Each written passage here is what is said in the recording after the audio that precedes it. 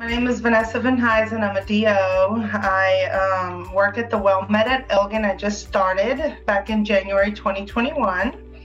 I'm board certified in family medicine. I have been practicing medicine for 16 years now. I'm married, my husband John, and we have two kiddos an 11 year old and a five year old. And pretty much every weekend's used up with volleyball tournaments and t ball, which is fun. I've been fascinated with medicine as long as I can remember. I chose family medicine because you get to know the whole person, you get to be the primary care physician, you have a little bit more intense relationship with patients.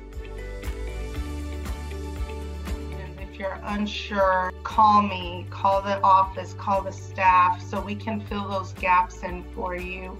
Most patients know what they need to do to be healthy.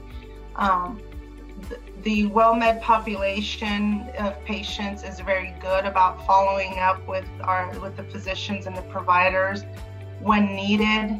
So they're doing their part, and when they're having questions, then I'm here to help with that part. It's not about how many patients we see, it's about how healthy we keep our patients which is what I went into medicine for.